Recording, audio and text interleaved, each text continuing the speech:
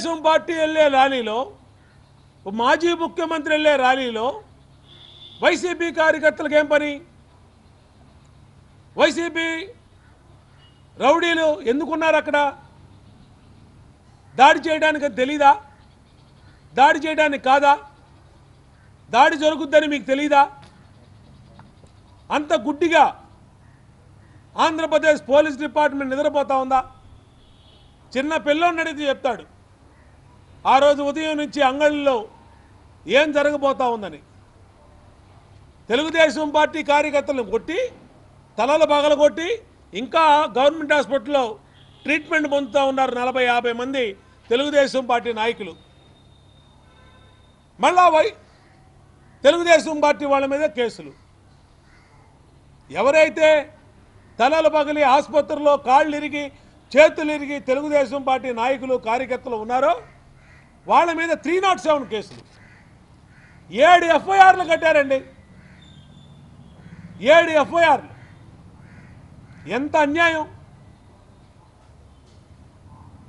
Law and order ఉందా? Rule of law ఉందా? అంటే ఎవరైతే తనులు తిన్నారో వాళ్ళ మీద కేసులు కడతారా? కొట్టిన వాళ్ళ మీద కేసులు కట్టరా? మళ్ళా దానికి డిఐజీ ఎస్పీ ప్రెస్ స్టేట్మెంటు రెచ్చగొట్టే ప్రసంగాలు జరిగినాయి. ఎవరు చేశారు?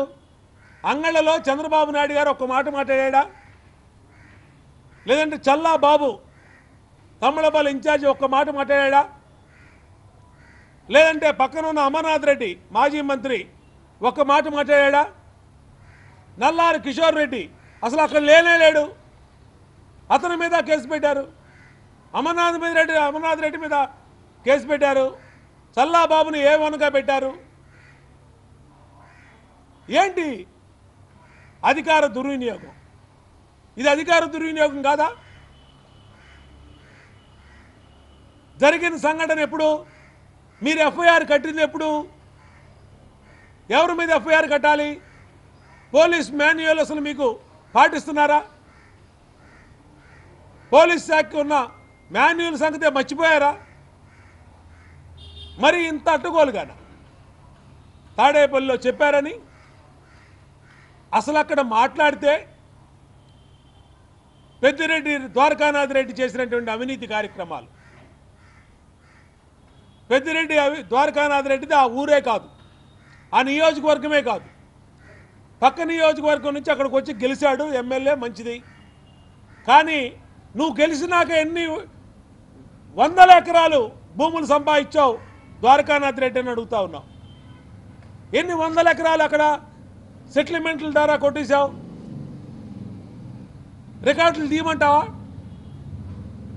నీ అవినీతి చిట్టా బయట పెట్టమంటావా? పెద్దిరెడ్డి రామచంద్రారెడ్డి రాయలసీమ ఆగిపోయిన ప్రాజెక్టులన్నింటి మీద పిఎల్ఆర్ కన్స్ట్రక్షన్స్ కంపెనీ మీద వేల కోట్ల రూపాయలు జరగని పనులకి పెద్దిరెడ్డి రామచంద్రారెడ్డికి బిల్స్ ఇస్తా ఉన్నారు.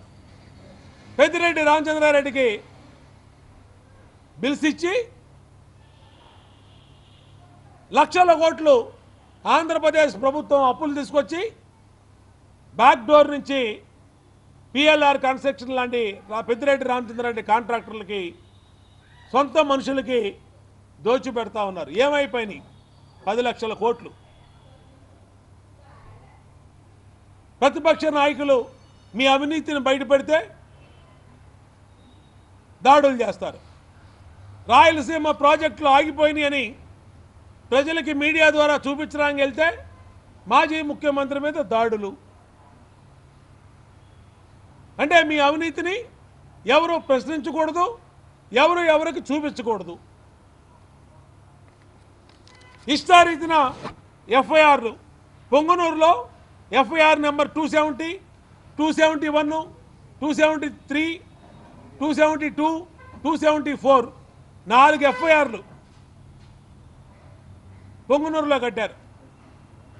ముదివేళ్ళలో రెండు ఎఫ్ఐఆర్లు ములకల్చేరులో ఒక ఎఫ్ఐఆర్ కట్టారు. దాదాపు ఐదు వందల మంది ఇప్పటికీ తెలుగుదేశం పార్టీ నాయకుల్ని కార్యకర్తల్ని తీసుకెళ్ళి పోలీస్ స్టేషన్లో అక్రమంగా రిమాండ్లో చూపించకుండా మేజిస్ట్రేట్ ముందు హాజరుపరచకుండా థర్డ్ డిగ్రీ ఉపయోగిస్తూ ఉన్నారు. తూతూ మంత్రంగా నిన్న ఎస్పీను డిఐజీ ఇరవై మంది మీద పదిహేను మంది మీద కేసులు పెట్టాం అరెస్ట్ చేసాం మిగతా వాళ్ళు ఇంకా అరెస్ట్ చేయాలి. దర్యాప్తు జరుగుతుంది అని ఈ మాటలు చెప్తా ఉన్నారు. కానీ పొంగనూరు చిత్తూరు జిల్లాలో తెలుగుదేశం పార్టీ ఐదు వందల మంది కార్యకర్తల్ని నాయకుల్ని అక్రమంగా నిర్బంధించారు పోలీసులు. తాడేపల్లి ఆదేశాలను పాటించి డీజీపీ నోరు విప్పాలి. ప్రపంచం మొత్తం చూసింది. రాష్ట్ర ప్రజలందరూ చూశారు. అంగళ్ళలో ఏం జరిగిందో. వైసీపీ కార్యకర్తలు ఏ విధంగా జెండాలు పట్టుకొని తెలుగుదేశం పార్టీ కార్యకర్తల మీదకి రౌడీజం చేశారు చూశారు. దెబ్బలు తిన్న తెలుగుదేశం పార్టీ మీద నాయకుల మీద కేసులు పెడతాం ఎంతవరకు సమంజం అని అడుగుతా ఉన్నా. చంద్రబాబు నాయుడు గారు మాట్లాడితే పెద్దిరెడ్డి జాతకం బయటకు వస్తుంది. చంద్రబాబు నాయుడు గారు మాట్లాడితే ద్వారకానాథరెడ్డి అవినీతి బయటకు వస్తుంది. కాబట్టే తమ్మళ్ళపల్లిలో ఎక్కడా కూడా ఆయన సభని జరగనీయకుండా ఆయన రూట్లో రానీయకుండా ప్రజల మైండ్ సెట్ని డైవర్ట్ చేయడం కోసం ఇష్టారీతిన ఈ కార్యక్రమాలని వైఎస్ఆర్ కాంగ్రెస్ పార్టీ చేపట్టింది. నేను అందుకనే పోలీస్ అధికారులు విజ్ఞప్తి చేస్తా ఉన్నా. కొంతమంది పోలీస్ అధికారుల వల్ల ఈ అమ్మిరెడ్డి లాంటి వాళ్ళు రిషంత్ రెడ్డి లాంటి వాళ్ళు ఇలాంటి వాళ్ళ వల్ల మొత్తం పోలీసు శాఖకి మచ్చ వస్తూ ఉంది. శాంతి పద్ధతులకు ఉల్లంఘన కలుగుతూ ఉంది. ఏంటంటే అంగళ్ళలో సామాన్య ప్రజానికం ప్రాణాలు అరచేతుల్లో పెట్టుకొని పరిగెట్టారు. మళ్ళా పైగా మాజీ మంత్రులు మాజీ నాయకుల మీద ఇన్ఛార్జీల మీద అక్రమంగా కేసులు బనాయిస్తూ ఉన్నారు. దీన్ని పూర్తిగా ఖండిస్తూ ఉన్నాం. ఇది తప్పుడు విధానాలు వద్దు.